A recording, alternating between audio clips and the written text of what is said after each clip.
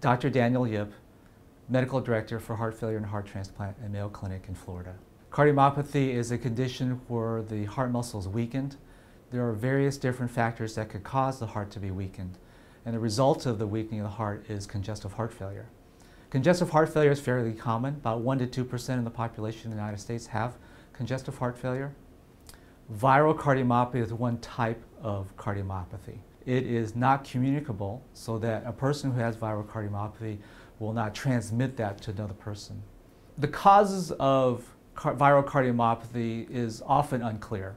There are certain types of viruses that we do know that could attack the heart directly or indirectly, resulting in cardiomyopathy. Uh, it's not often that we actually find the virus. Many times people use the term viral cardiomyopathy when it actually isn't caused by a virus.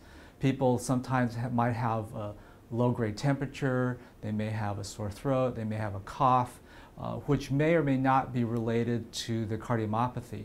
But because they have this constellation of symptoms, often doctors will say they have a viral cardiomyopathy when indeed it may not be actually due to the virus.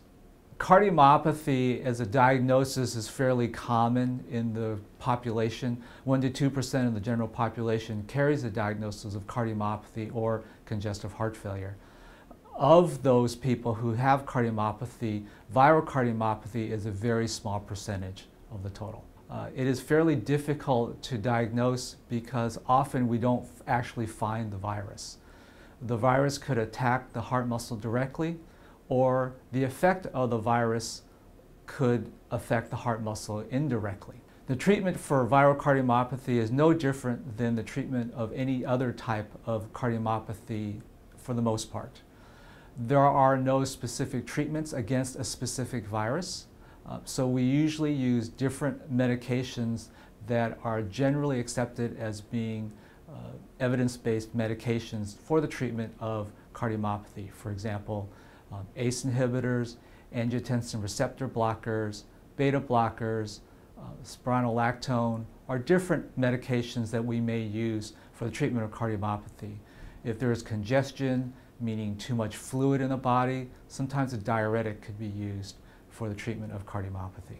Just because people have the diagnosis of cardiomyopathy is not necessarily a fatal diagnosis.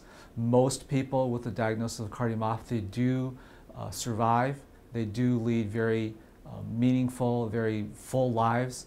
Uh, and just because someone is hospitalized with cardiomyopathy, it does not necessarily mean that it's a fatal diagnosis.